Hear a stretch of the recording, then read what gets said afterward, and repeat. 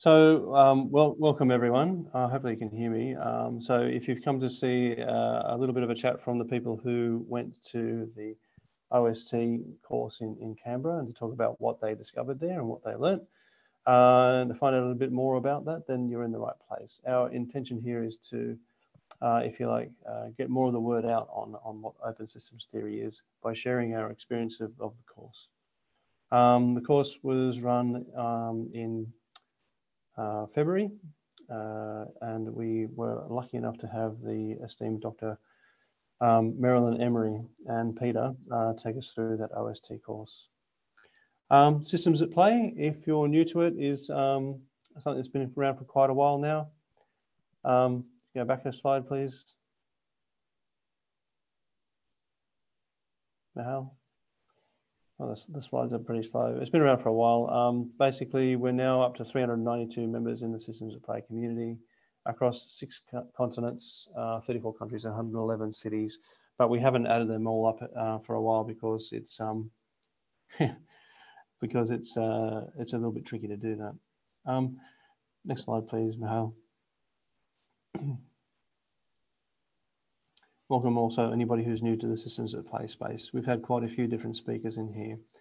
Um, our journey to uh, put on the OST course, uh, well, what happened was about two years ago, uh, we were actively looking across the, um, the environment uh, with the Systems at Play community, looking at different speakers and different things out there in the, in the world, uh, looking at systems thinking. So we explored some some systems dynamics and we explored viable systems thinking, some critical um, thinking works as well. Uh, and we wound up um, actually coming across um, OST uh, eventually. Uh, it actually happened when Alidad was actually having a sort of a Twitter, we'll say conversation, discussion uh, with, with Trond. And uh, I don't know if it got very heated, but it certainly got very informative. And what we what we saw was that our, our interest was was piqued.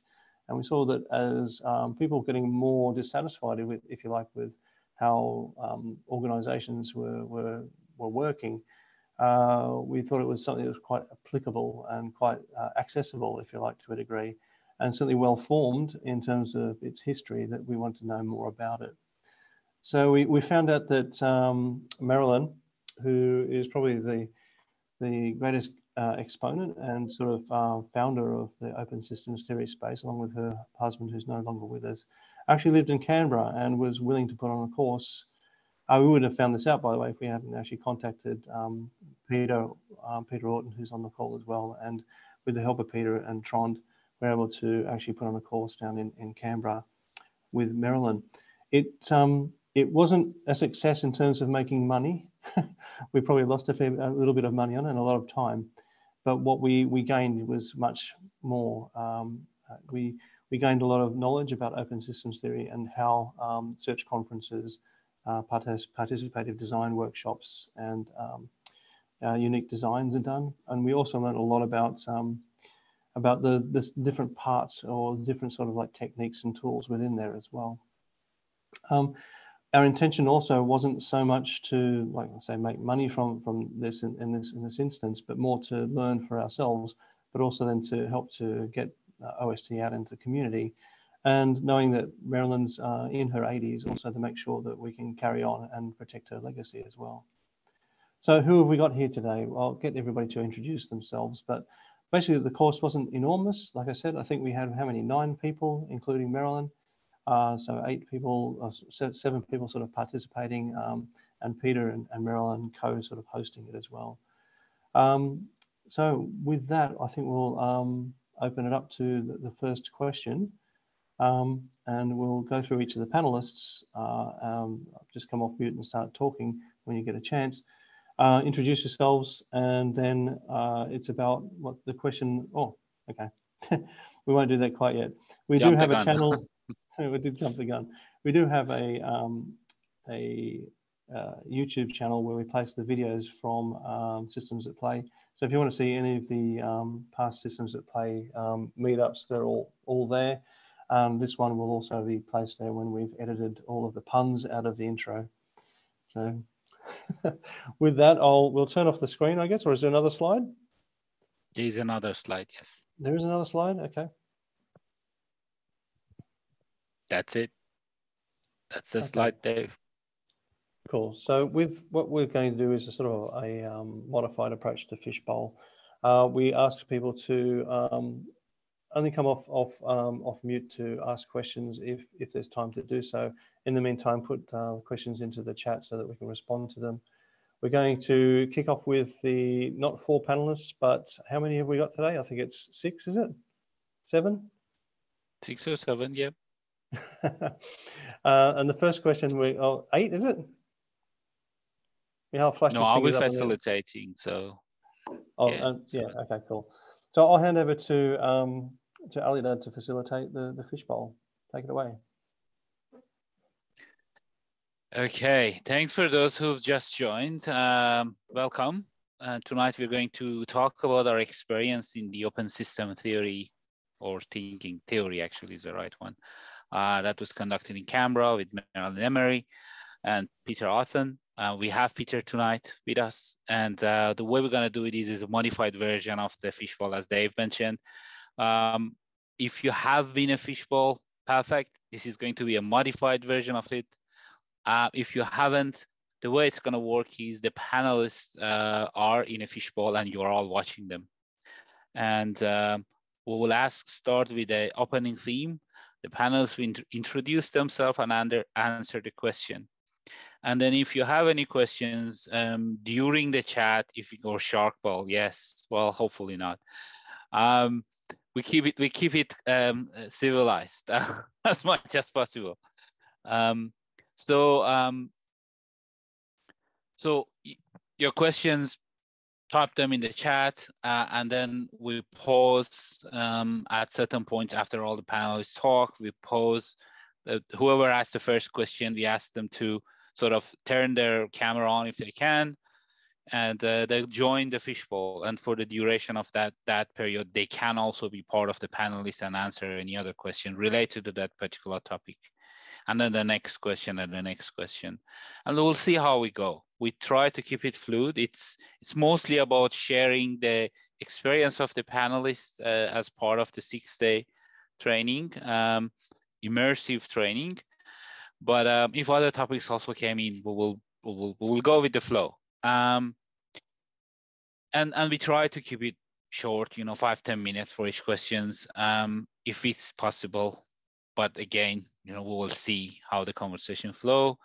Um, and again, normally uh, the way we run Fishbowl is if you ask a question, you join the pa panelists and you stay there. But we were experimenting with this immersive view of the Zoom and it's it doesn't work for everyone. So we thought, you know, instead of doing that, we'll just do a modified version. Um, before we begin, again, if you've just joined, um, we're recording this conversation. We will obviously edit it and put it up in our YouTube channel uh, later. Um, during the conversation, when the panelists are talking, if I may ask everyone to put them, themselves on mute, I was gonna suggest for everyone else other than the panelists to turn their videos off as well. But I think panelists, I don't know, what do you prefer, guys? Do you prefer if you can see your audience? I would if I was a panelist. Yeah, I'm fine with that. Yeah. Okay. So keep keep your videos on. I think that's that's pre probably preferred. We want to see the faces. So keep your videos on, all good, but stay on mute. Um, and again, ask your questions in the chat, all right? And then we'll go through them one by one. So with that, I, um, if there is no question, is there any question? No. So with that, I will um, I will start with the opening question. So our panel obviously are Monica from New Zealand, Trond from uh, Norway. We have Peter from obviously Australia. I don't know where you are at the moment, Peter. You can tell us later. Dave, um, Mihal, Ross, and Andy. Um, so they are all our, our panelists. They know who they are. So um, I will start with the opening question and uh, is what got you into OST and the course? And what did you expect from the course? Who wants to start?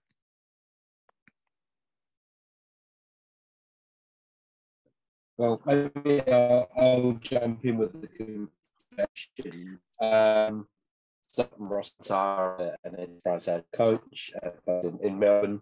Um, I didn't know anything about it, so it was uh, a bit of a, a, jump into into the dark. So sometimes I feel that um, you just have to trust that something exciting is happening somewhere and open yourself to new experience. So um, I kind of said, I, I, knew you guys at, at Systems at Play were doing something cool, and I I just I thought, okay, it sounds cool, I'll do it. Um, and I'm glad I did because when I, I read into it and I read the, the course materials and experienced it firsthand, it's probably been one of the most uh, important courses I've been on over the last few years. Um, so yeah, not not the, the perfect answer, but uh, I can talk about why I love it later. Thanks, Russ. Who's next? Uh, by the way, once you finish, maybe um, maybe nominate the next person. That would be easy. Hey. Okay, um, uh, Monica. Yes. I was hoping to go last. Okay. Um, I think I was the last addition to to this workshop. So I got an email from Peter. I had actually had the pleasure to interview Merrelyn um, a couple of years ago for um, something that a university I was attending in the States. Um, they were doing a series of luminaries in OD, and she and her husband's uh, work, Fred Emery, was considered part of that sort of you know legacy that OD had in terms of open systems theory. So this wasn't the first time. I had to So I read the book two years ago, but I actually couldn't read it. Like I tried to read it, but it was so difficult that I actually asked for a translator, and that's how I met Peter. So Peter actually translated the book for me in, in a way that that makes sense. And so I I wasn't sure if I could actually um, attend attend the workshop, and so but things aligned, and thanks to Dave, Alidad, and Mihail, made it. Uh, really easy for me to sort of attend. And so um, I had great expectations in terms of learning particular things. So I wasn't, um, my thing wasn't around the searching, but was mostly around trying to understand the PDW uh, in, in the sense that um, I work quite a bit with uh, organizations in terms of uh, organizing and restructuring. So that's one of the reasons that um, I found myself traveling to Canberra. And because it was supposed to be done in over two weekends, I actually stayed there for 11 days. And so that was a long, long time. Uh, and I'm going and Monica, yeah? introduce yourself as well, just a little bit about yourself. Tell us about yourself. Okay, um, so I am an OD practitioner. I've been working on the field of OD for about 20 plus years. Um, I have a global practice. Um, and by global, I mean I don't have any customers in New Zealand. Um, I work mostly in applied complexity. So I use complexity science and I see John Laurie. I've never met her, but I've seen you uh, also work in that space. Uh, but I work basically with different um, um, lines of or different ways of actually applying complexity thinking into into businesses, and um, and and that's me. I'm I'm not very good about talking about me, so I'm going to pass on to Dave. God, why did I know I'd be next? Um, really, I'll really be really quick this time as well. Um, I'm working as an agile coach at the moment, but really not happy with agile coaching. So I was looking for something to challenge and change the way I approach the way that I work. When we came across OST, what I really wanted to do in, in part of going to this course was actually see how it's actually done. So the course for me was to see practically how um, Merrelyn actually applies the, the learnings or the, the what I read. Uh, I wanted to know more about how that was applied and that's that's sort of what it delivered as well. And then getting that experience both from from Peter and Marilyn was really what I was there for. And I'll throw over to Peter.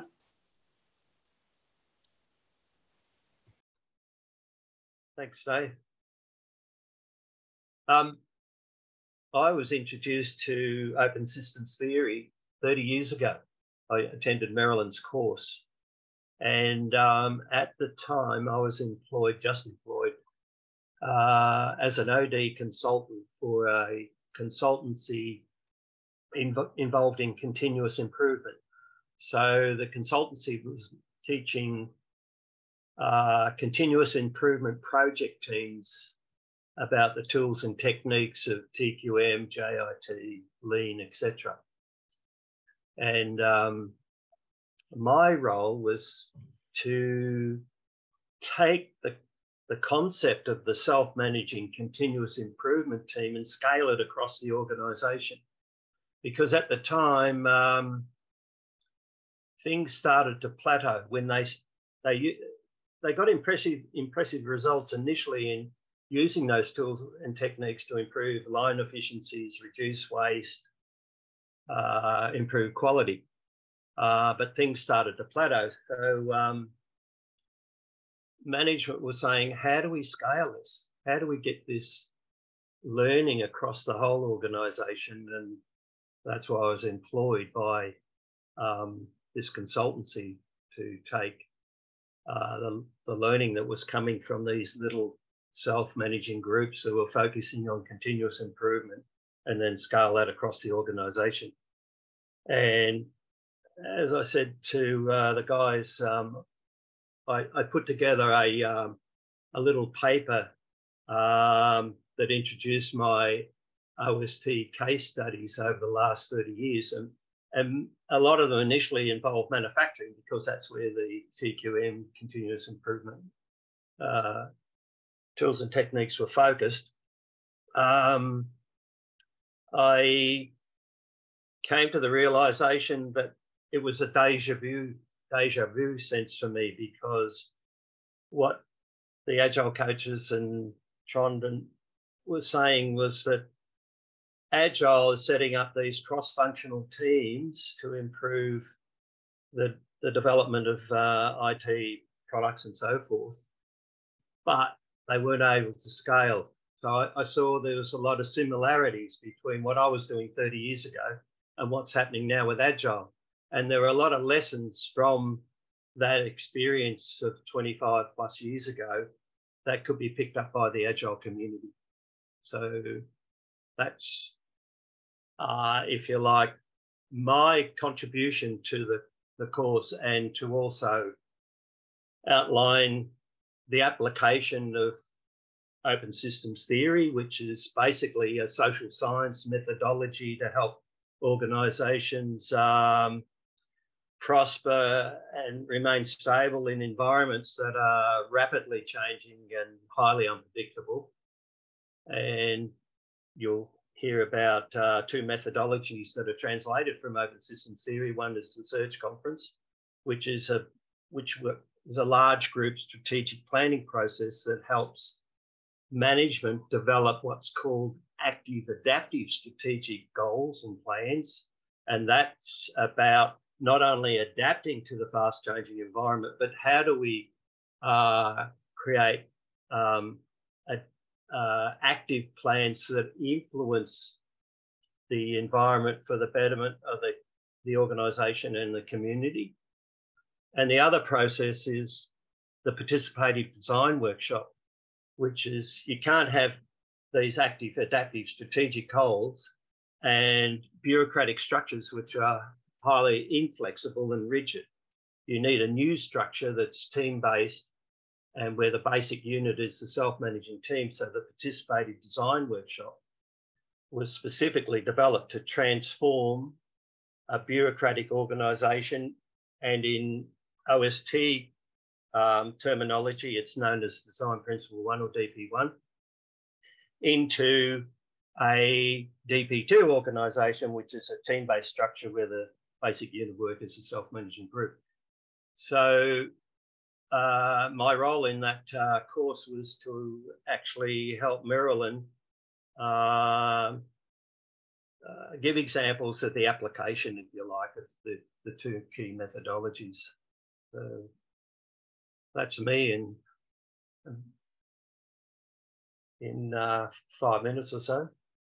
Uh, who else? Who haven't we had? Mihail, have you had a, a go yet? No, I can go. Thanks, Peter. Apologies, guys. Uh, I may my connection is really really bad and unstable, so it may be breaking up. But yeah, Mihail, uh, Agile coach. Reason for getting in OST was that, um, as Dave and Alidad mentioned over the past two years, we were looking through all sorts of systems thinking approaches, and this sounded really, really applicable to me. Um, again, coming from uh, an engineering background, uh, IT, very structured, very sequential uh, way of thinking. Uh, this was just trying to uh, get me out of that shell and start thinking a bit differently. I think uh, Merrelyn mentioned, you know, said it really, really nicely when we met, uh, probably two, three weeks before the course. She said, uh, "Oh, I'm going to get that out of Mihail for sure." Kind of knocked out of Mihail. The uh, so it was a challenge really to to get into areas that were different from what I'm used to, uh, and again, systems thinking and cybernetics. I had a university, but that's very different from this. This is uh, way of thinking that you have to kind of pull back. And uh, Monica also mentioned for the book, I pretty much started reading it three times before I could start digesting the language properly, and then it started slowly flowing. But when this um, uh, opportunity came up to do the course, I think all three of us um, Dave, Elliot, and myself just locked in on it and didn't want to let it go. And hindsight, uh, it was way more than what I expected.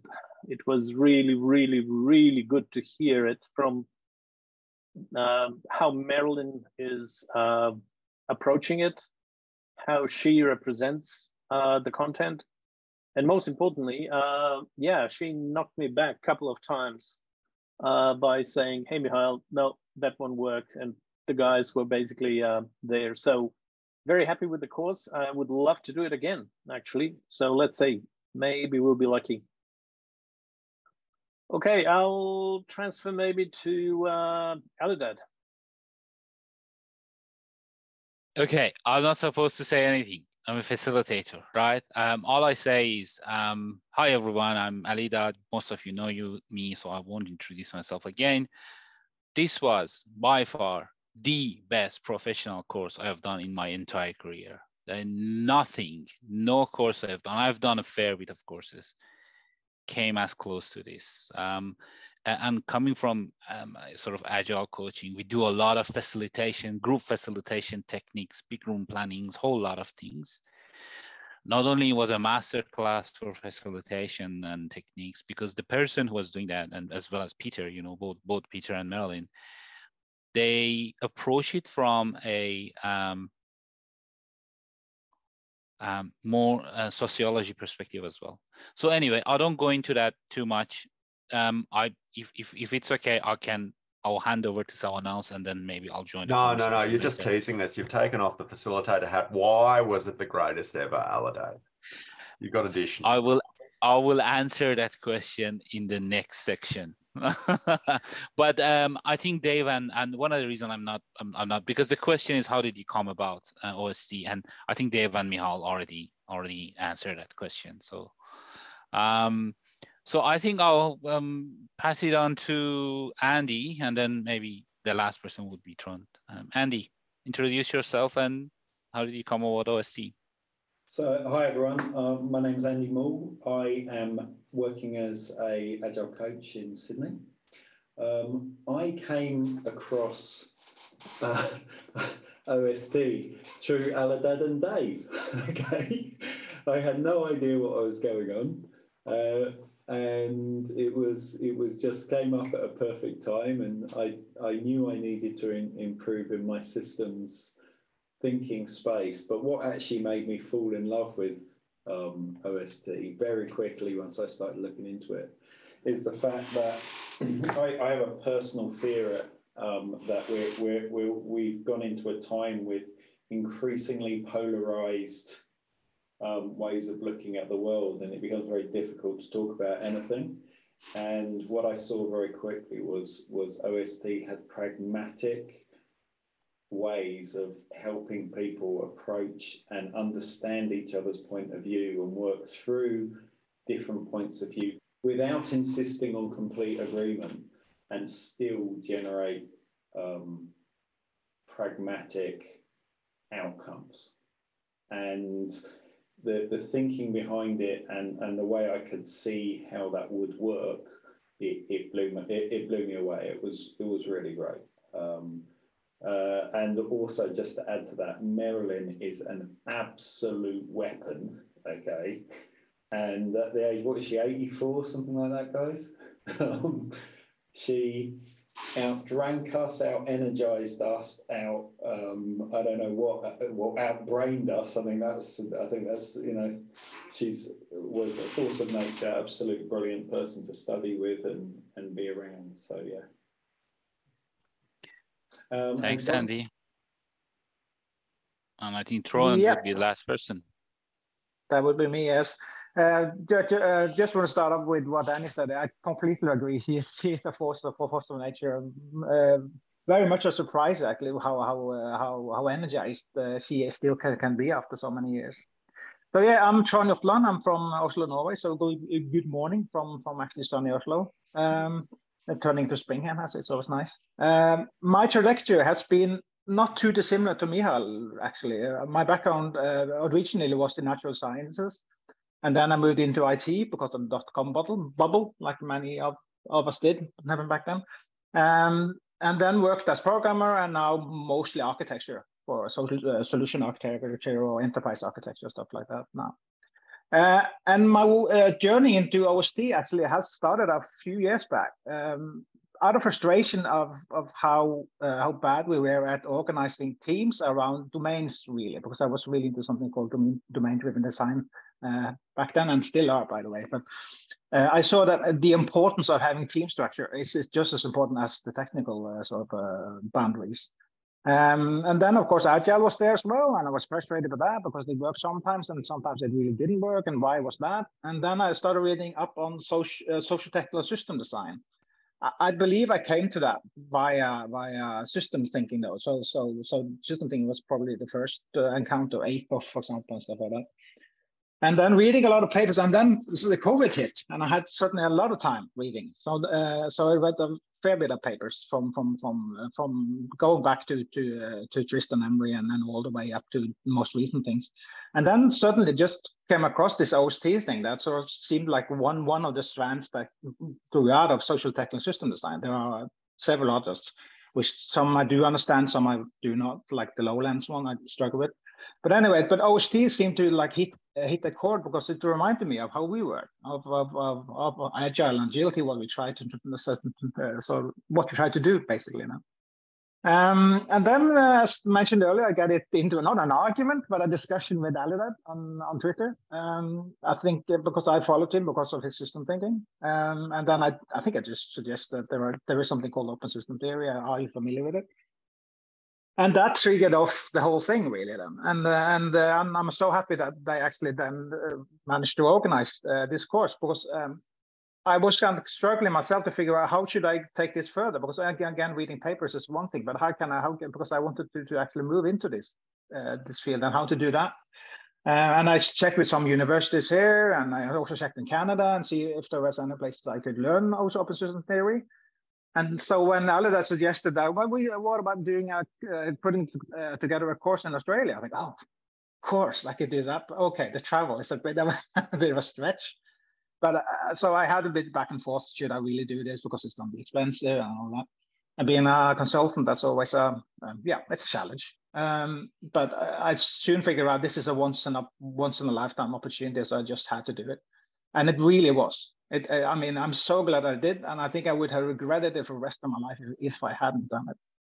And it was a wonderful, wonderful time in, in Australia. Meeting Merrelyn was a fantastic treat. It's, uh, it's she's a force of nature, so so she, she's strict when it comes to her her, her topic because she knows it well, but she's also a lovely lady. So it, I mean, it, it was a wonderful experience. Meeting Peter in live, and also of course the rest of the group.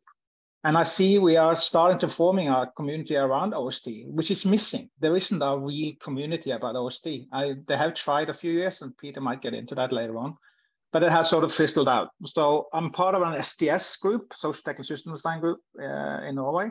And there are a few of those sort of roundtables around the world, but they are like geographical, right? So they are very local. We in like in Norway, we do it in Norwegian, for example. So it's very local.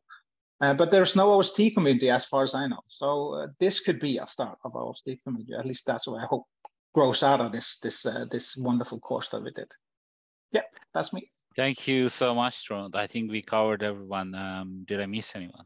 I don't think we did. I did. So um, I'm going to break tradition a bit. There, there are a few questions here, but uh, let me ask you questions from the um, participant and the audience. Um,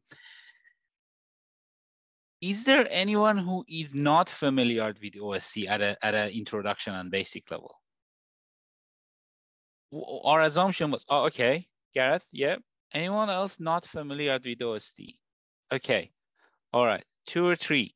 Um, our um, assumption was because we the, the previous um, session we had in Systems at Play was about OST and, and kind of an introduction of OST with a focus on PDW that Peter um, uh, presented. But I'm gonna put a really, really difficult task before I jump into the first question on, on the panelist. Is any of you willing, and I know if uh, we, we promise um, Merrelyn will never hear about it, okay? Um, any one of you are willing to, in few minutes, very short, just um, explain at a very high level what OST is. And I know it's an impossible task because we did a six day course and we still can't, you know, it, it took us that much, but um, just for folks, just to get their head around what are we talking about um, in few minutes. Anyone is willing to do that? Volunteer for it. I, I can have a go, but I, I guess Peter would probably be uh, the best one. But uh, since most of you are sort of probably more or less unfamiliar with it, okay. maybe my take would be could, could be one. Um, Go for it. Um, yeah. So yeah. So let me try. But so, short. Um, okay. Keep it short. I'll yeah, I'll let you know if it was going too long. cool. Good. Good. Good. Yeah, because uh, uh, coming in from from from system thinking, I think I would like to focus on why it's called open system theory, right? So um, because when we look at social technical system design, which I have done quite a bit, uh, uh it's you really don't look into the environment that much. You took you think about the system and the parts and how they interact and all that good uh, goodness that uh, system thinking sort of, uh, brings us, understanding the whole.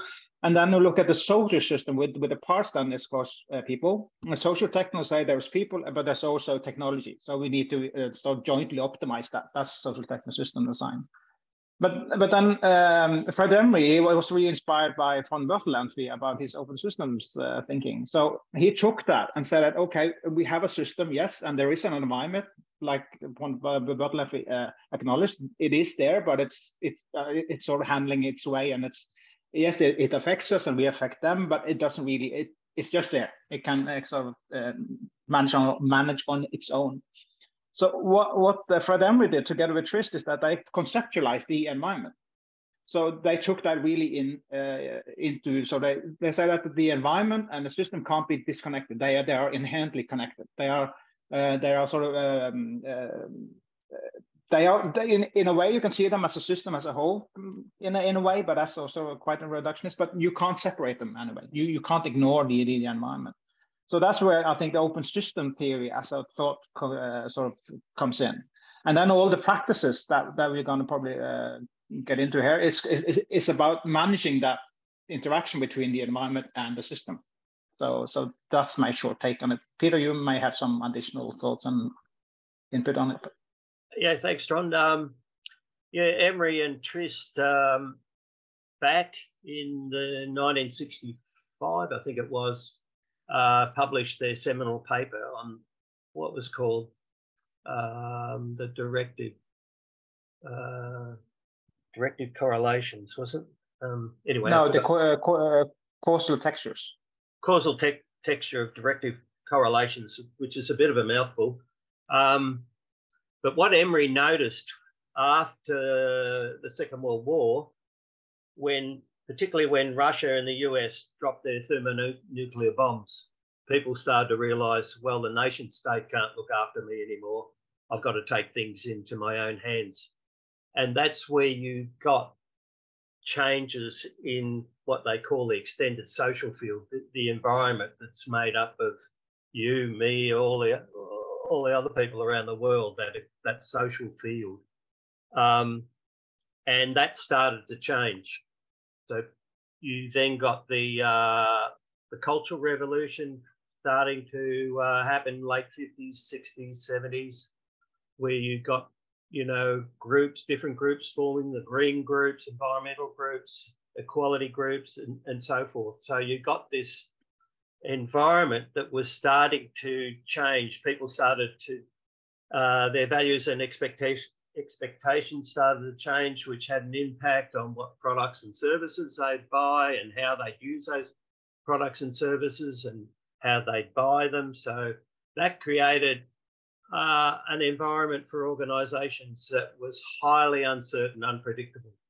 So Emery and particularly Fred then started to pioneer the, the social science theory called open systems theory to help organizations cope with that dramatically changing environment.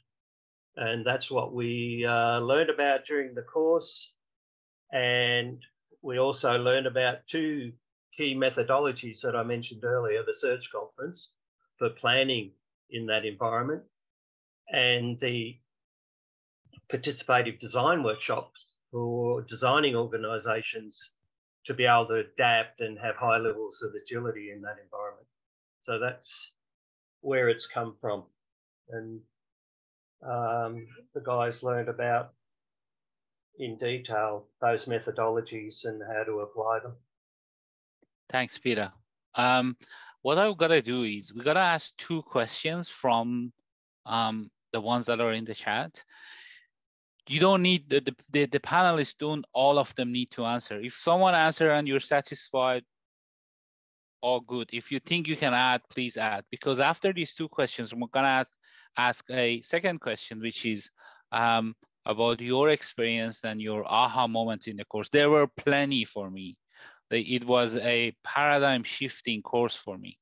And i want to give you opportunity to talk about them and the audience to hear that.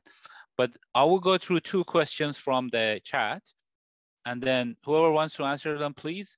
If the rest of the panelists don't think you, you wanna add anything to that, that's cool, we move on to the next one. So uh, the question is from Martin. Uh, the first question is about PDW and search conference. Martin, did you wanna ask that question yourself? Yeah, happy to. Um, did you want me to do an intro as I did that? Is that the idea? Please go yeah, for it. Um, so, as you're probably uh, discovering in the chat, if uh, if you read it, um, the, the, there's uh, the, there's an element of pedantry go, coming on here. um, hopefully, not in too bad a way. Um, I I have a background in um, systems thinking from the 90s when I studied it and then basically gave it up because I just thought it was too hard, and uh, and I couldn't. It was brilliant, but uh, unless everyone adopts this systems thinking, you're like the only person in the room that is trying to push a systems agenda. At which point, you know, I gave up. Um, and in the last uh, maybe year or so, um, I've sort of uh, discovered some other systems thinkers and sort of uh, then that encourages me to uh, to come out. Um, and so that's my background in this area. Um, I'm sort of still somewhat skeptical as to the practical application of systems thinking, um, but I am enthusiastic about the ideas. Um, and then so then it comes down to practical application participative design workshop search conference i don't know a huge amount about them um, i i think of one as a mechanism to uh, to effectively explore the environment and the other as a mechanism by which um, individuals get involved in designing their own future. Um, and I don't know if I'm right or wrong on that, um, but I'd like to understand how the two fit with each other. But is that a, that's probably a big question. That's a massive question. That's the entire OST course, but uh, we, we try to keep it short and quick. Peter, I see you took yourself off Yeah. mute. Did you want to briefly answer that? And then if any other panelists. Yeah. So the search conference is a, a large group strategic planning methodology. So large, I'm talking about 30, 35 people um, in the room. So you've got all the pieces of the jigsaw puzzle in the room. And as you go through the search conference and the participative design workshops, they're not only designed to uh, develop strategic plans and new organisational structures, but they're also designed to teach you about the methodology so that you can continue to adapt as the environment changes. So one of the key things you, you learn about in the um, search conference is how to scan and analyze the external environment. And that, that learning, it becomes innate for you. You, you will, and I, I do it all the time now, I'm continually uh, scanning the environment myself. Um, what's happening out there? What are the embryonic changes that, that are occurring that could be a threat to an organization or could be an opportunity? So the management team starts to think in terms of um, scanning the environment, being able to analyze it.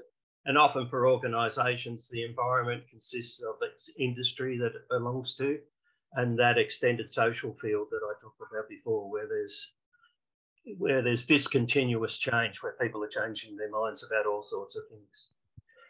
And then, and then through the process, uh, you learn to develop um, active, adaptive, strategic goals and plans. And as I mentioned before, those because the environment's changing, your goals can't be set in concrete. You, you're continually looking at your strategic goals and are they going to get us to where we want to be in five years' time or whatever the planning horizon is? So um, it becomes a way, particularly for management, of doing their, their work, their strategic planning. And as I mentioned before, you can't have highly adaptive strategic goals um, and then a fixed, rigid bureaucratic structure. You've got to have move to a team-based structure where there's high levels of motivation, intrinsic motivation, where people control and coordinate the work that they do and responsible for the goals of the team that they belong to. So if the strategic goals change, then management can quickly renegotiate goals, say at the operational level. Um, and then so you get that adaptability, uh, agility occurring right through the organization. And that's where I see it uh, as a, a really good fit to Agile, where they're trying to create these Agile teams that can help develop um, IT products quickly, um, get them out there in so many days, etc., etc. Um, and that's where I think Agile is a great um, conceptually way of doing uh, of organizing IT specialists, product uh, specialists, but um, it hasn't got that social science theory sitting behind it. And if it gets that social science theory of understanding the design principles, design principle one, bureaucracy, design principle two, uh, the self-managing group, then it can see why, why is it working in this organization, Agile, and not in that organization? Why are we getting these tensions? Why? And you start to understand, well, where it's not working, we've got mixed mode. We've got a combination of bureaucracy and self-managing teams working together, and they create tensions. And I've seen that for the last 30 odd years where you uh, have to really when you're designing an, an organization, you have to make sure you're not getting that mixed mode. You're not getting what we call laissez-faire, where management try to set up teams and um, just remove the supervisor and let people do what they like, which is worse than bureaucracy. So there are some really key theoretical uh, concepts and the methodologies that could, and that, this is my belief, it really enhanced the agile movement because they will be underpinned by this um, uh, theoretical knowledge, conceptual knowledge of what works and what doesn't. So that's Um, my take.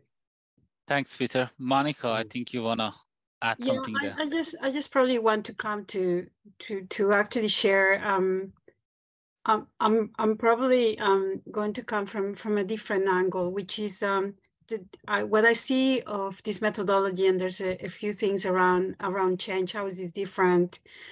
Um, why hasn't it spread? I, I think I'm I'm going to try to be very concise on this, but one of the things with these two methods in which uh, OST is expressed is the fact that, first of all, it's from the ground up. So you cannot reapply it and there's no best practice. So you cannot clone it, all right? And most of the movements around the world are clonable. So give me the five steps and this is what I'm going to do. This is not what happened here. So if you think about um, setting a strategy, there are many other methodologies that could replace searching, right? So I, I don't want to say that's the only way or that's the best way. It's a way. What's interesting about the method is that as you go through the method, there's, for example, something called the rationalization of conflict, all right, where, where actually people are addressing these things. And they are, that's the best appro- approximation that you have to actually not seeking alignment, but actually looking for a coherent strategy. All right. And in many senior teams, the other thing is who comes to that searching conference. Okay. So it actually is not just the management team, but it also involves all the kinds of people that you want to have sitting at the table to start discussing these things. So it's not the application of somebody that thought about something and then somebody else is going to apply it. So you have that difference there is a difference that makes a difference in that particular group. And also the steps and how they actually talk about it. So if you're thinking in organizational development, is there's usually two camps you know the ones that come and diagnose you and say you're you know you're absolutely sick and these are the five things that you have to do. And there's something called dialogic which is it's all about exchanges that we have and through the exchanges is that we learn. And in ost that's called puzzle learning. It's not puzzle because it's hard but because the idea is that we all hold you know pieces of what we're seeing and together we put it together to sort of find out what's the best future for us which is contextual. In the other part of the workshop where you start doing the design of it what is beautiful about it because there are many schools of design is that it's based on a principle that goes beyond what just the enterprise wants which is usually more money right now, what it does, it, it's, it's embedded within it. There are other principles that have to do with actually humans. You know, we, we talk all the time about humans, but this is how do we create the best conditions? And that's why I was attracted to this, is because in complexity theory, we're always looking at what are the conditions that you have to create in order for whatever. But in this case, if you look at the principles and you look at all the other things, it's all about creating this coherent environment for people to do their their best. Now, we've talked about self-managing teams, but there's also something called these um, unique designs. So there's also flexibility. So it's not a one size fits all. And we know that when we start talking to Alice, when I talk to senior managers about design and restructures and what it looks like, there's a lot of conversations around power there's a lot of conversations who does what when. Well, what, what is interesting about the, the model and what, what comes out of it is that you're actually, what you're doing is restructuring the, the uh, not only the, the, the way things are done, who controls what, but also the coordination of that work. So that's the beauty of it. So it has a lot of parts where you're actually doing the change and doing the learning at the same time. So if you were looking at different instructions around design. You know this is something that could fit and i think i, I do agree with peter that it fits in the agile context probably better than in other contexts because in agile you've already proven a that is very you you know you have your manifesto and a series of documents that say that you are very human driven so that you're acknowledging that you're looking for more, not just efficiency, but effectiveness. And you are unafraid of actually committing to new models that have not been tested, right? In, in, a, in a strict business world, we, we are looking for, has anybody tried it? Does it work? But in your environment, you are uh, great pi pioneers. And, and I think that's why this methodology probably could be very helpful, um, you know, and sustainable in the environment that you guys work. I'm sorry, that was a long spiel. I'm going to stop. No, thanks, Monica. Thanks. That was amazing. Um, so any other panelists wants to add anything to answer Martin or should, should shall we move on to the next question? Okay, so Martin, yes, it is possible to run PDW separately if you've already somehow come up, came up with the strategic goals. And yes, it is possible to only do search, but as Peter said, a key element of doing search is the active adaptive um, strategy and objectives and goals. And if you don't have a um, a um, democratic organization or, or, or, responsive organization, it'd be hard. You can still do it. Nothing stop you to do that, but it won't be as effective. Um, second question, and then we will go jump into the experience of the participant of the course. Um, Amelia, you had a question about change management. Uh, I did, but um, I think Monica actually answered it, to be honest. So mm -hmm. I, I, think um, what you said, Monica, really resonated with me. Um, I was furiously typing notes. Um, but I think you you um, very well articulated what you think is different about this framework or about this way of um, designing organizations or changing organizations to be uh, more effective um, and more driven uh, to achieve what they need. So I think we can move on to the next part. Alidad, thank you. No worries. Thanks, Amelia. So the next question is, uh, and I want to kind of make it a bit more interesting. So we all have, you know, our got our own experience in the past and we've done a lot of courses as well as on day-to-day basis. Most of us are into the business of change. Um, my question from panelists is what was some of your aha moments some of the things that you discovered and it excited you during the six days of course and then obviously after that you know our ongoing study and training? What are a few of the things? And again if we can stay brief that would be amazing but um but I don't. I also don't want to lose the um, your excitement about it. So, what excited you? What was aha moment? What was unique unique about the things that you learned in the course? Who like to start? Uh, probably I can start, uh, guys. I think it was uh, again, um, Trond, as you said uh, about Merrelyn. Yeah, she's a power to be reckoned with. One of the things was as we went through the search conference, there is mechanics, there are steps that you go through.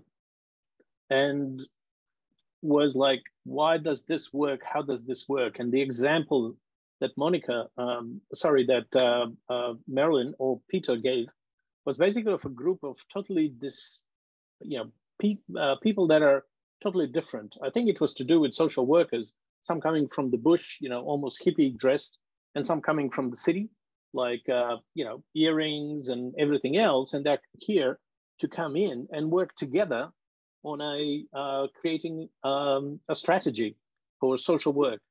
So they did kind of gel together and started working from you know the get go. So for us, coming from agile, the storming, you know, forming, storming, norming, performing model is like, well, hang on, they probably need time. And uh, yeah, Merrelyn said, no, this just gets them together. And only after we finished the whole process, she basically said, look, there are layering underneath what you see. And the layering is that you're naturally making the people to start trusting each other to build trust. So you start with some general stuff where you don't have conflict, like what do you think was important in the past seven years or the future seven years? And with something like that, you start with non-contentious things and slowly, slowly come to, hey, uh, we actually are talking the same story here. We are, you know, both thinking the same way. But it just the process naturally built that trust and the, you know, the people start working as a team. That was one. Second thing was uh, Peter already mentioned the concept of group. He didn't use team. which was very interesting because a team says, well, someone is in charge, right? A team lead, some sort of, you know, a captain or something. Over here, you don't have that.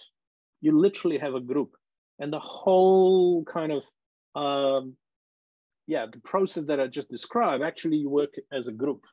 So now, question was, well, how do I apply that? Well, can you imagine a Scrum team, for example, no Scrum Master, no PO, but actually they share the responsibility between them, which is much, much more powerful than say, hey, PO, you do this, or Scrum Master, you do that kind of thing. So that creates a much, much more active and much, much more, um, how should I say, engaged team. So the responsibility is truly shared by everyone. So those are two things, the layering of, we, we just see, you know, probably one, two layers, but there is a much, much more social science underneath, which unfortunately I'll have to go and study a bit more to pick up on these all these other things that are kind of part and parcel they're um, inherent with the model they come with the model but you don't realize it until you start doing it so that was fascinating thanks Michal. who would like to go next can I just have a small comment on what Mia said? Because I completely agree with what you just said. I uh, I just want to highlight the um, which was a big aha moment for me because I've, as I said, I've read a little bit about this before, and I knew about I read her book and everything, and I had a fair thought I had a fairly good understanding. Of course, for example, the search company, I say, okay, there are steps, good, because you have to do it sequentially in one way or another. But I, I didn't think much through why this was before that another way around, for example, and stuff like that. And, uh, and also a colleague of mine had been to an Agile Enterprise course and they had been taught Future Search. And he presented that before I read about uh, the conference. But so I thought, oh, they look very similar, right? Uh, they have to be the same thing. And also read up, and yeah, okay, they had some history. There are some there's some uh, connections there. And then I'm glad I asked Merrelyn at the court because we spent some time on the difference between the two. And they are essential. Uh, uh, what they did in Future Search, which is a, a, so they had derived from, from Search Conference, they changed the order of things. For example, they start with, with the system and not the uh, environment. And that's a huge difference. It can seem like a trivial thing, like, okay, we do the same thing, we just do it in a different order. How much does that matter? In the search conference, matters a lot. And as you said, Michael, just starting with with the with with the, with the environment and the search uh, and and and so the search in, in the bigger global field and also some years ahead. So so you have so you can't rely on some existing knowledge. You you, you have to basically guess, right?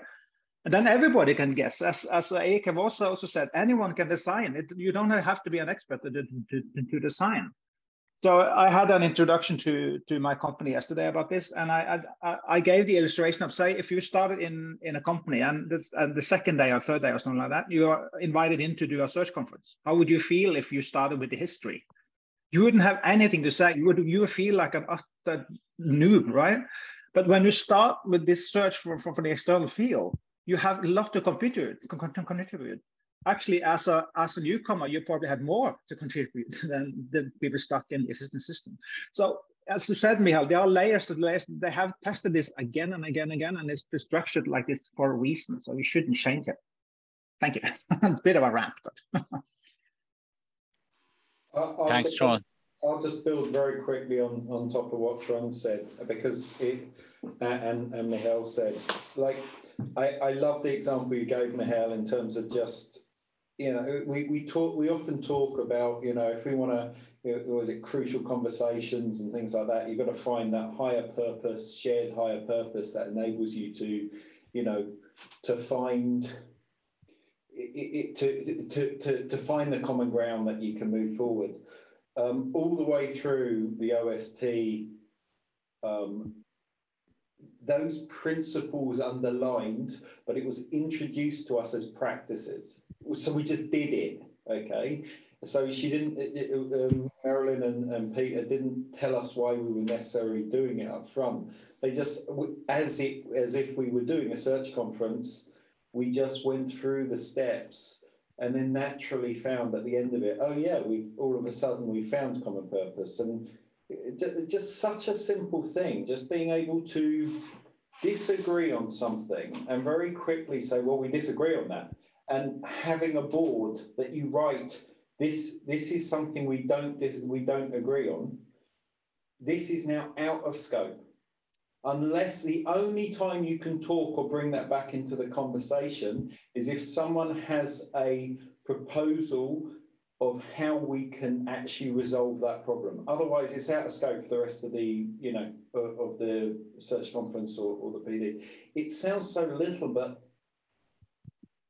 just having such a simple rule that can allow you guys to move forward, totally embracing the fact you disagree on something. And, and, and those little, um, again, as Michal and Trond said, you, you, the, there's very beautiful little touches which um, always. Uh, uh, uh, there was a note I saw uh, Martin and um, and Dan were talking about um, how does it fit in with agile. Well, I think there are, without getting into too much detail, there are sort of quite good parallels between aspects. Um, and I would say it's outcome orientated, people centered, which for me is pretty much all out, you know, agile approaches. They're outcome orientated, people centered. Um, I, I also feel that a lot of the research supports and, and, and I think it's exactly what you said, Martin, in your comment. It fills in the gaps with or, or explains the why behind um, uh, uh, why some of these agile approaches, methods um, work or don't work, actually, I think, in some of them. Thanks, Andy. Um, so you don't necessarily have to build up what Andy said. If you have um, other aha moment or insight or yeah, anything I'll, that excited I'll, you. I'll, I'll chuck one in. And also, I think there's a question further down on what have you already tried from the OST course from Martin as well. Um, one, of the, one of the things which was I found like immediately practical in terms of what I was doing, and not I think it stands actually separate from um, OST as something that can be used independently anyway. Um, not that you would ever do that, Merrelyn. Don't come and hunt me down. Uh, were the, um, uh, the the six criteria for um, uh, psychological requirements for productive activity. Um, that, those are things I've already started to use, Martin, in the work that I'm doing. Sometimes subtly to actually see, well, where do I think people are at, or where teams are at, or organisations at, and these these different these different things, but also to actually run workshops with teams on these things to as, as a metric to see, well, are you moving towards something which is actually you know uh, sustainable and productive? Um, so yeah, that's one of the things which is a really big aha moment for me in the course, and it's really similar to a lot of things that I've seen and heard before in terms of like criteria for success within organisations, and very DP2 modeled as well, and in terms of what it um, tries to achieve. What are uh, the six criteria, Dave? So, you want to just briefly? I, I, will. I wanted to say that quickly because I can get bogged down in the six criteria for an hour. So, um, number one is elbow room or autonomy of decision making. Uh, number two is continual learning, for which there has to be the ability to set goals, but also accurate and timely feedback. Yes, I'm reading from the book. Um, variety, that there has, to, but, but these top three also are um, uh, not maximal. They're on a, a, scale of like from minus five to positive five, and ideal is zero. Okay, you don't have too much of these, and you don't have too little. The third one is variety, so that's an easy one to explain. Too little variety is boring. Too much variety is hard to is overwhelm. Um, mutual support and respect. Uh, so the last three are maximal. You can't have enough of these things. You can't have um, too much mutual support and respect. Uh, meaningfulness, uh, which consists of doing something which is socially valuable and seeing the whole of the product or service that you're working within. And the last one is having a concept of a desirable future, both at a personal level and at a group level. So they're the six things that I've already started to apply in the work that I'm doing, probably badly, but I'm starting to see some good results from just um, my ham-fisted way of actually bringing those things as, as metrics to um, the people that I'm working with as well. Thanks, Dave.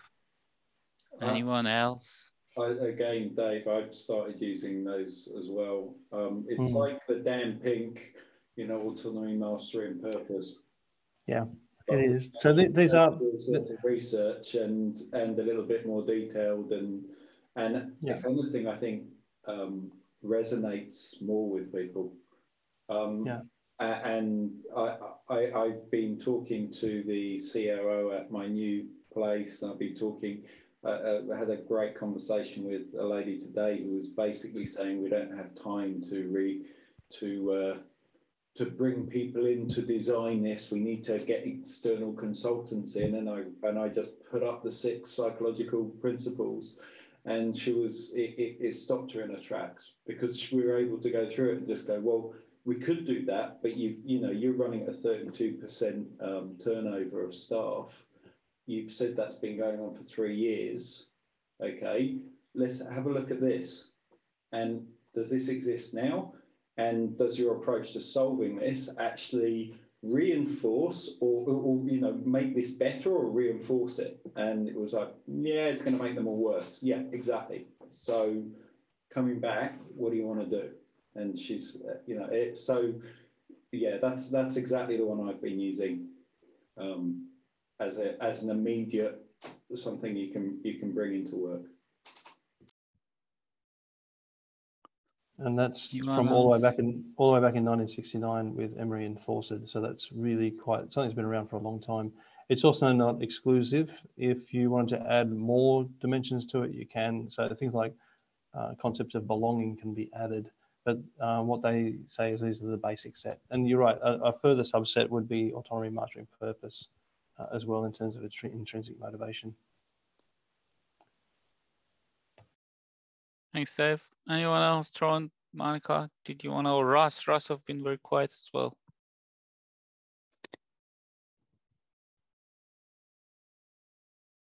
Ah, okay.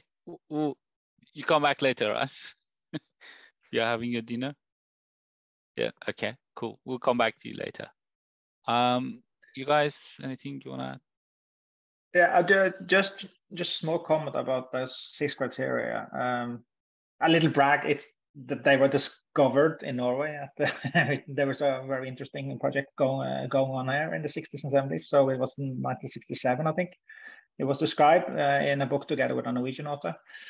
But anyway, uh, uh since you mentioned pink, um, I have been fascinated by pink for a while, and also uh, there is there is another theory called self-determination theory, uh, which had similar things to what pink has. But pink, in, uh, I think he had uh, instead he, he, removed relatedness from the self-determination theory, and that and, and I think that's a big difference because the six criteria contains all those criteria from Pink and also from self the, the, the, the determination theory, right? And relatedness here is so important that people feel uh, in, in, a social group, and that's completely not in Pink's thinking. Very American. I don't know what's the reason, but yeah. Thank you. Ross or Monica, did you want to get Ross? Yeah, uh, yeah I, I, wanted to jump in. I think um, if, if I wanted to go back to kind of the things that that kind of surprised me or, or intrigued me from the course.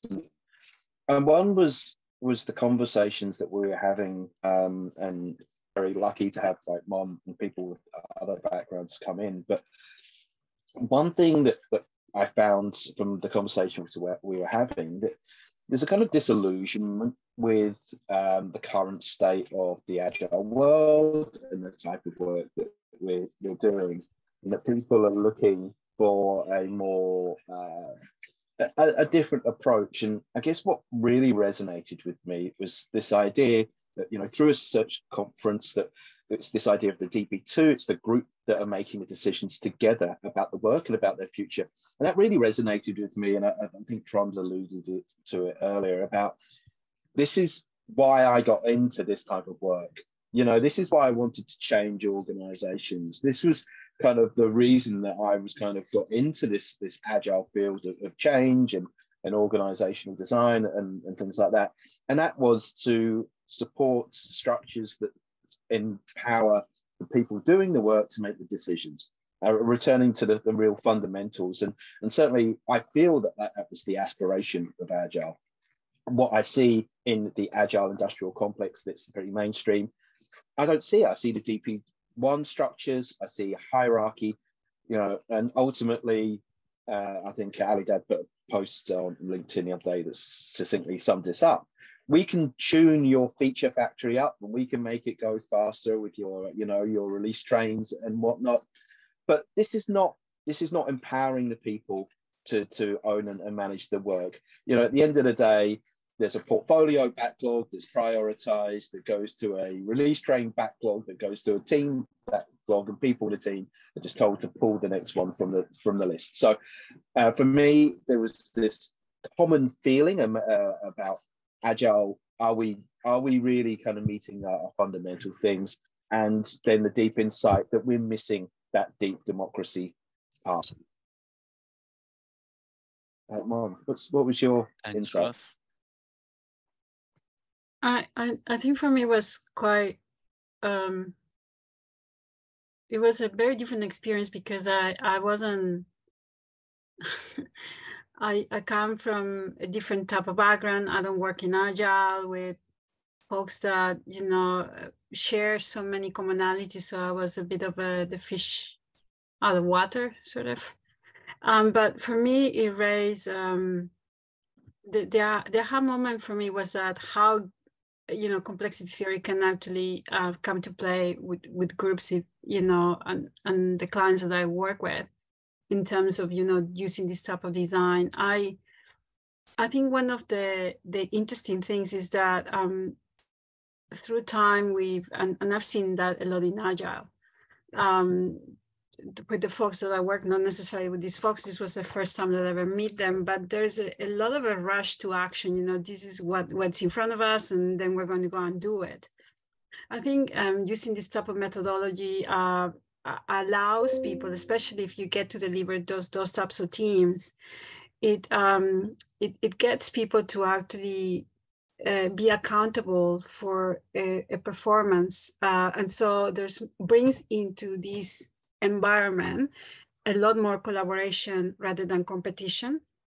So my observations have been that uh, in this particular group, there is a lot of, um, uh, you know, people that are very self-author with very very strong opinions and sometimes it feels like a war uh, or some kind of battle that is going on but but because you, you have this dialogic uh, sort of tension that goes through the whole discovery process which is the searching and then the pdw and then when you get moved into your teams to actually be accountable for something as as, as a whole um, i uh, or group uh, sorry um, uh, I think it could be very, very interesting to see that shift in an industry where it's, you know, loaded by who, who writes the best code uh, or, you know, quickest, uh, you know, where does this stop? So I, I think it could, could bring a different sense to, to an industry. So that was what I thought it could, for me, it, it's a possibility. And, and I see this, this kind of work as a possibility for for for different things to happen to an industry. So I'm quite excited about it. Thanks, Juan. Um, I may also share some of my experiences. There was a lot. There was many, many aha moments. For me, one of the key uh, attraction was the whole active adaptation uh, angle. Um, but where you know as a system you not only you're influenced by your environment but you're also influencing your environment a lot of this stuff in agile is about responding to change rather than influencing your environment to change so and and that was a that was a great way of actually the search conference was a way of looking at how do you design active adaptive objectives um but for me there were many uh, one of them was a, a, big aha moment where I found connection between viable system model and OST. And it was when we started to apply DP2 design principle too, when we move into um, self-managing groups. Um, and and and how do you create a self-managing organization? And it was it was really, you know, what happened when teams start to take start to do control and coordination of their work themselves and then design their own way of working. So what happens to the managers? And it was a big aha moment for me where, well, you know, those that still stay, uh, they start looking at a different function. For example, they get into um, planning or they get into um, um, strategy. And and initially I thought, oh, okay, you know, the managers go to a strategy, but then I realized it is not about managers that go to a strategy. It's anyone with that experience begin to work on those things. So there is a hierarchy there, um, but it is not a hierarchy of roles or hierarchy of dominant personality or power. It's a hierarchy of function. So when someone in the strategy is not the boss of someone in operation, it's just they do productive work, which is about a strategy. And someone in the planning is mm, long-term planning is they do productive work but they're not necessarily the boss of people who are doing the, the, the teams right? So and, and, and the other aspect of it is even those folks now have to work um, as a group uh, with design principle too so which is very rare in organizations you know most executive teams or management team they are individuals they're competing with each other right? So as soon as you move up from a team and you get into the management, whether it's supervisory, middle management, senior or executive, there is no such a thing as a team. You are on your own. You're competing with everyone else. You have your own goals and objectives and KPIs. But with a OST um, um, sort of inspired or was the approach to organizations, even the leadership team have to now operate as a team. There is no such thing as a leadership team anymore actually. They become you know the the strategy folks and the planning folks. And that was the connection to viable system model for me where you know system one is um, effectively all of your um, dp2 self-managing teams um, the difference was system two also get merged into system one. And then the, the, the, you have the system three which is you know planning long-term planning time span. You know if your teams are working on here and now then someone in the you know management team begin to look at the future.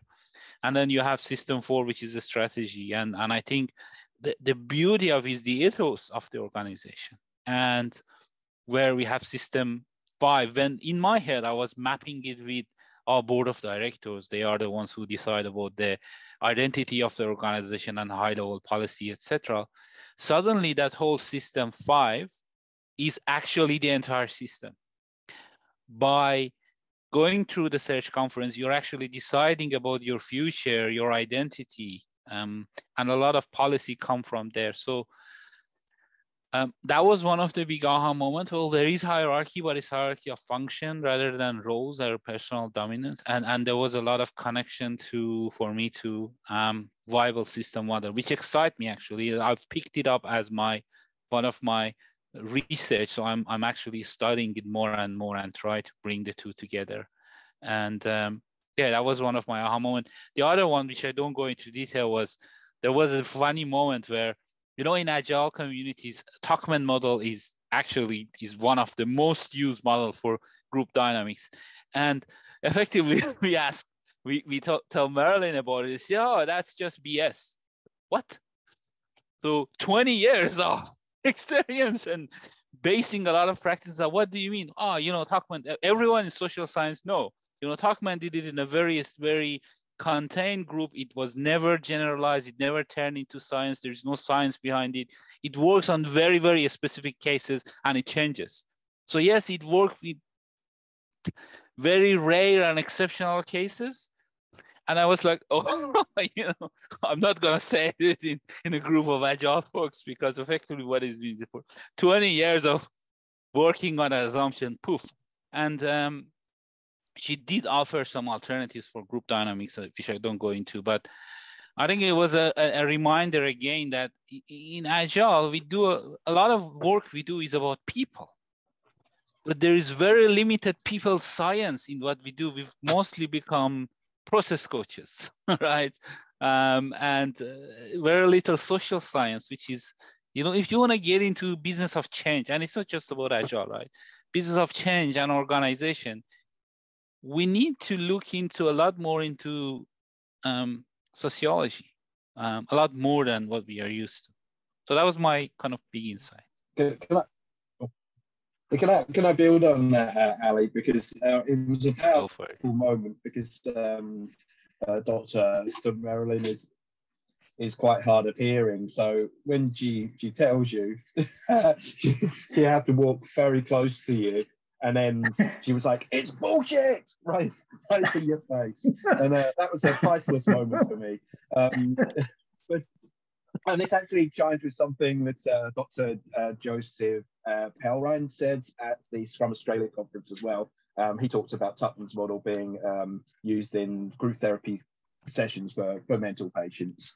And so um, it, I think that that was a thing that I picked up, a rigor, a rigor around these models. I think uh, agilists in particular are very guilty of being magpies, of picking tools up here and there without really reading the source material, without validating it and reusing it. And you see it everywhere. You see the same things picked up again and again and again.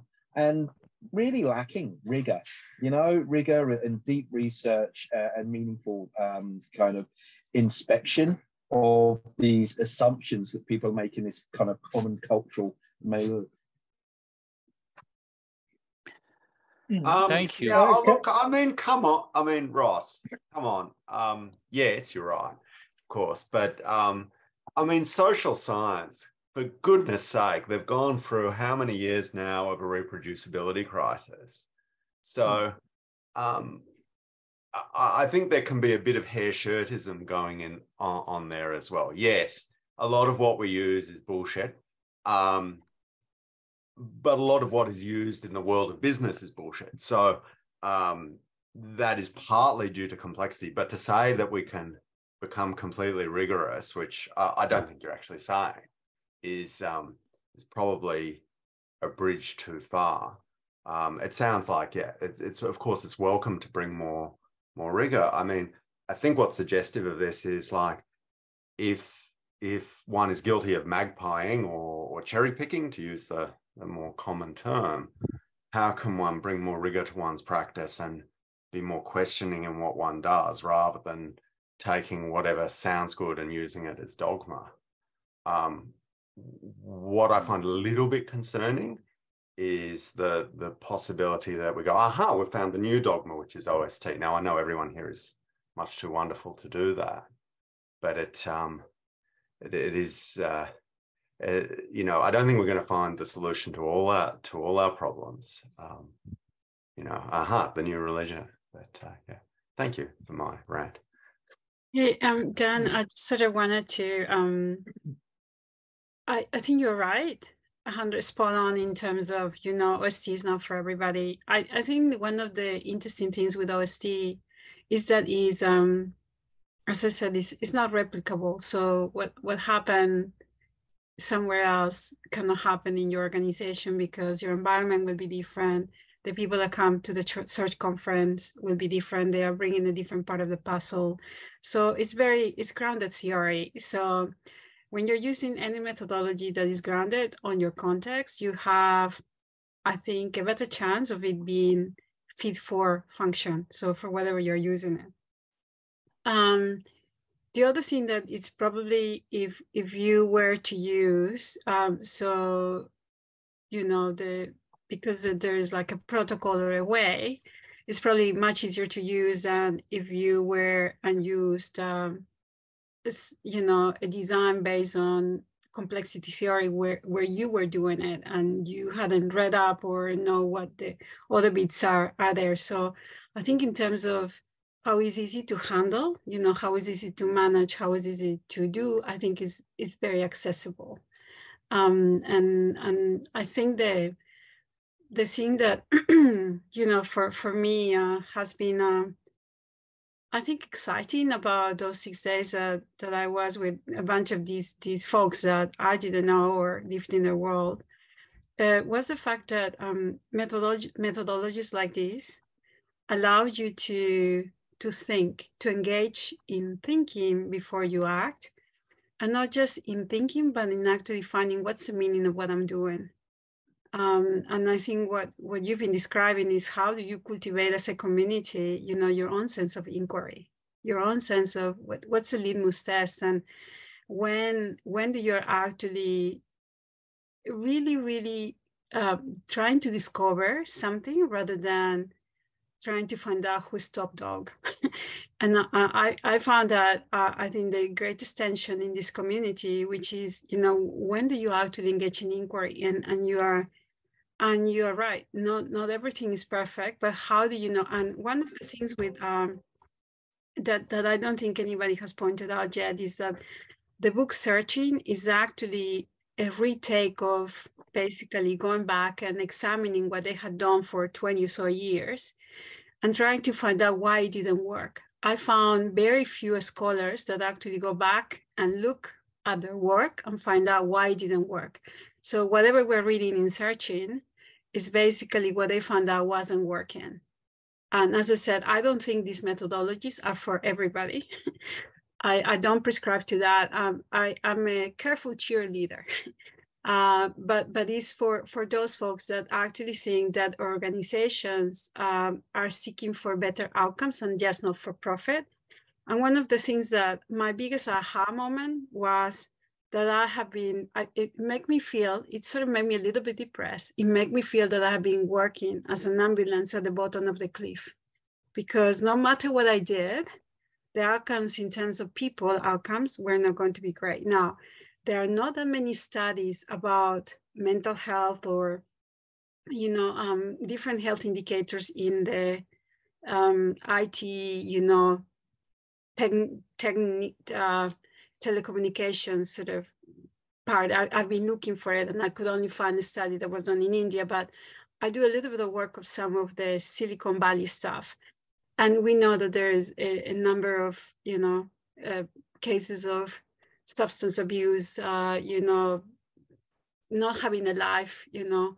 So there's a lot of stuff that is undocumented. So in, in terms of these, the way that the, the work that you guys do and the fit for this, it may be a better fit than other things. So um, so it's, it's something to explore rather than to adopt. I think between the adoption and exploration, there are a few steps. So that that doesn't. I don't work uh, in uh, with, with, with IT companies, but this, this that was just my feel. Sorry, that was the biggest. No, no, thanks, Monica. I, I, I apologize. I need to go. Uh, my daughter is calling me, have been calling me for a while. Um, and um, just one thing, Dan, uh, OST is mostly based on action research.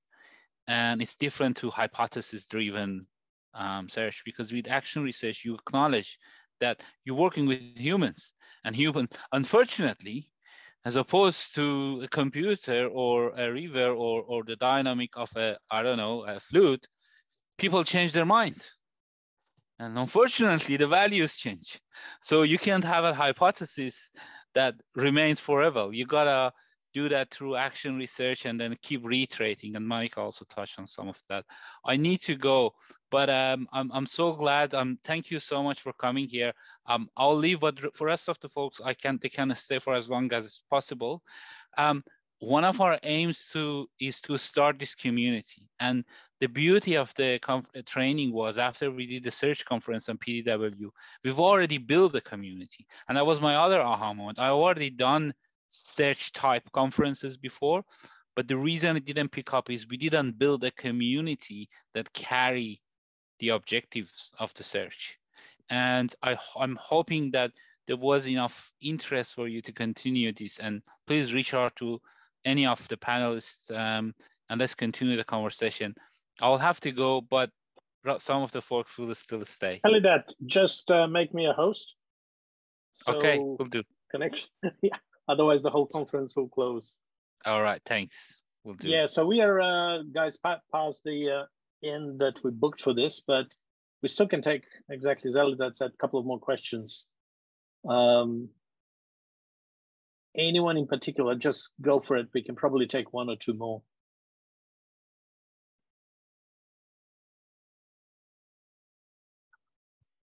I feel I've left my left list and had a rant up there, so you know, I'll leave it open to anyone. But if you like any of the other questions of mine, you're happy. I'm happy for you too. Thanks, Andy. But many of them have been, have been, several have been addressed along the way. So thank you so much for that. Uh, Gail, I noticed that, that you had a few questions. Did you get those answered in the chat or? Uh, sorry, Trond, just just before I go, No, I, just. I just want to build on Monica's point. There are definitely contexts in which I really struggle to see how this would apply. But then, as I loved your rather depressing analogy of being the ambulance at the bottom of the cliff, Monica, but um, with those contexts, the theory that this helps me realize that they they're perhaps the ones you need to just walk away from because they ain't been helped um, or they're not being helped in a way which is going to perhaps optimize people's uh, uh, uh, well-being and um, effectiveness. So, but anyway, thanks all. Thanks, Andy. What what did I what did I miss? yeah, guys. So if, uh, as Alidad said, please feel free to reach out if uh, more questions pop up after this. Um, it's for us also important to keep this dialogue going. We just want to see how rest of the community feels about this. So uh, we're looking at, as OST says, that extended field around our uh, small group. But uh, yeah, please do uh, uh, reach out. Uh, we do have a lot of resources that you can uh, read up on uh, yourself. And any closing remarks from any of the panelists? Uh, just quickly, Michal, um, I'm involved with uh, helping a group in North America called the STS Roundtable to relaunch themselves. And they're very keen to hear about how you guys uh, are thinking about using OST to enhance the service offer, offering of Agile. They think that's a really great way to reach out to their wider community and also attract members that are more diverse and younger because of a lot of them about are pale white old blokes like me. hey, hey, Peter, what happened? Well, I mean, there were a couple of questions. What, what, in your view, like historically, like it seemed that there was a kind of a heyday and then it dropped off.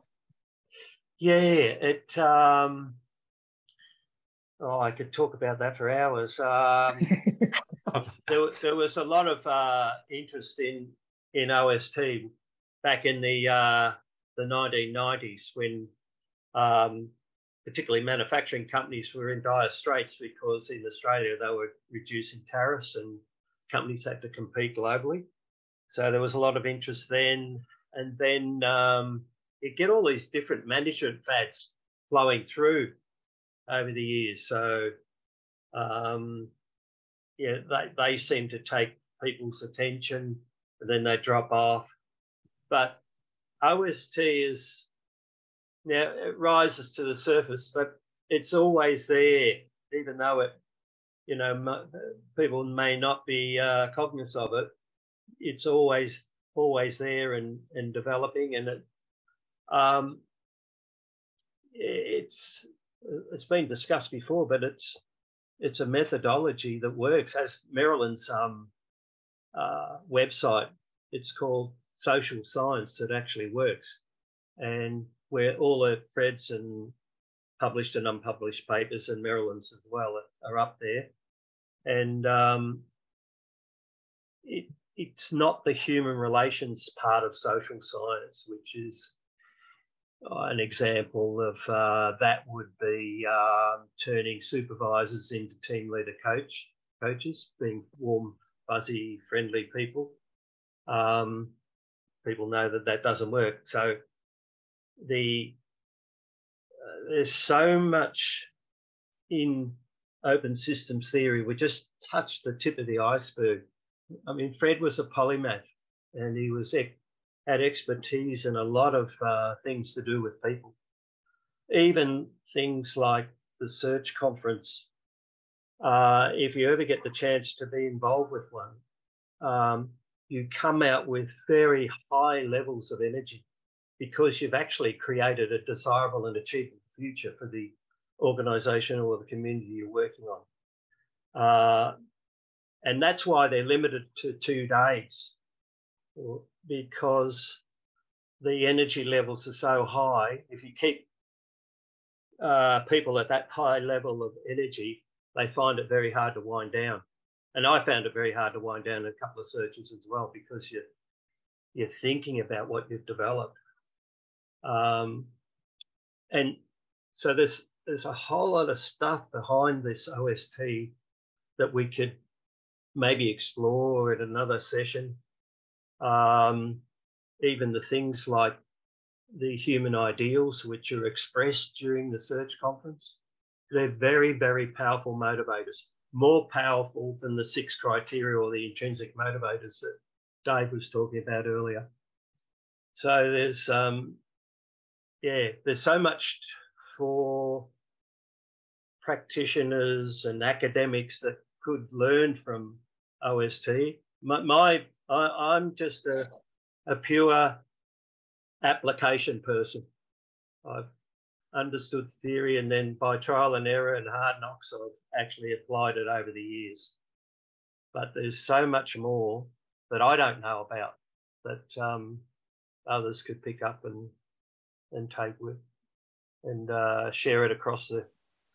Yeah, uh, I, I think the other thing, Peter, is we have to be honest that well, I think one of the reasons why OST hasn't um, been popularized is because there, I think the primaries didn't have an interest in popularizing it. Um, that, they, yeah, that's correct. They want it to be successful and they want it to be effective. They don't want to be, you know, a t-shirt and a mug and a pithy saying. Uh, and yeah. I think Fred sort of personified that with um, his response in a talk at ANU, I think, to where the BH where BHP was present, and he didn't mince words and probably lost, uh, I think, a lot of opportunity for OST in that in that space. But you know, that was Fred.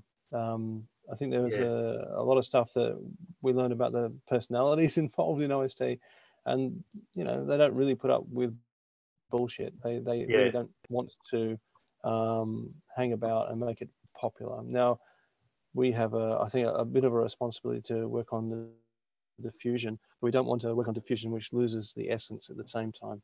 Yeah. Yeah. That's so really I, hard. Yeah. So I'm help I'm helping you to, to, I'm helping you to diffuse it through that STS roundtable, hopefully. Yeah. Yeah. I think a mug's so, a good way to go, mate. We could we could sell a mug with the ideals yeah. we make a fortune. I think. or like like make a make a America great again, one of those caps, you know. Nice. Oh, make OST great again. I've got I've got, I've got my next T-shirt sorted. yeah. Cool. Yeah. Any other comments, guys? Any other comments? This is a lot of fun, yeah. but we'll have to um, stop um, at some point. Just uh, I'll, I'll, I'll, add my five cents worth in here. I'm brand new to this stuff, right? Like I've I didn't even know what this was. But it seemed interesting, so I thought I'll just jump in and see what happens. And it's been fascinating, really fascinating. I wanted to share an experience I had. I don't know if it was OST or not, but as a, an employee of a telco company a few years ago, we were involved in setting our own KPIs in the call center. And reflecting on what you've been talking about, the way that that session was run and shaped was um, using the external environment factors or the other factors uh, the, the play around why KPIs are such and and and the like. But I walked out of that session and I still reflect on it as one of the best experiences I had in my working life. I just felt we we came out where like was all of us we were staff, right? We were the people on the phones getting to set our own KPIs and we are able to negotiate them as well and go, okay, well, we think this, we think that, we think this is too high, and this should be more like this. But the way we felt and felt empowered at that particular point in time to this day, it felt like some sort of dark arts people were practicing on us because we walked out and went, you know, where were the advocates? So I just from a personal experience, something like that was an incredibly powerful experience just from the person that's on the ground doing the work. Great example. Some, of the stuff that we we've come across as as people working in the agile space, um, a lot of the stuff that uh, around software organizing teams, of uh, democratizing of work, of building cross functionality, these all have like strong sort of correlation, if you like, if not um, direct sort of like um, uh, sort of links through to DP2 type approaches, which is at the uh, um, the core of, of, of, open systems theory as well.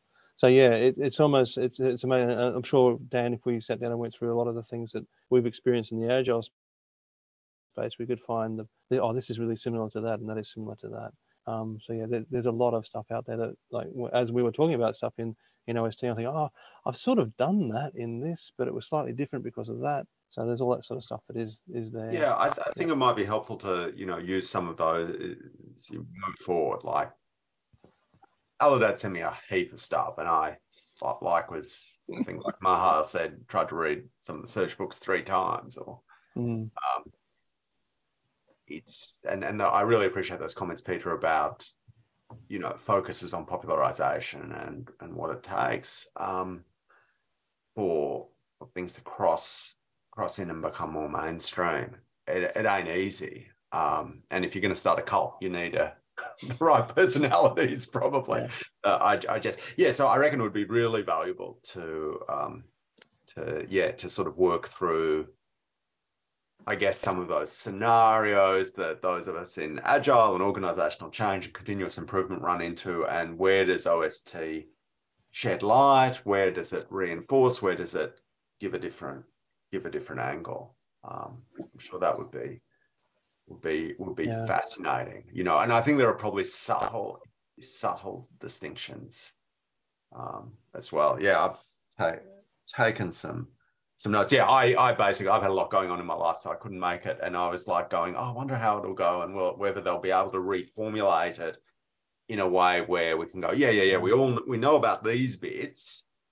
You know, that's like we've learned but we got this this section wrong and this is where you should be focusing and this is where the unlearnings have have to happen and the relearning so you know hmm. the old wine sometimes has to come into new bottles sometimes um, and then there's the there's all the contextual stuff that that everyone's talking about so i look forward to learning more but i've got yep human ideals and those six criteria are part of mm. it but then i also take uh, Trond's point about there's there's some real thinking about sequencing and yeah, and so forth. So mm.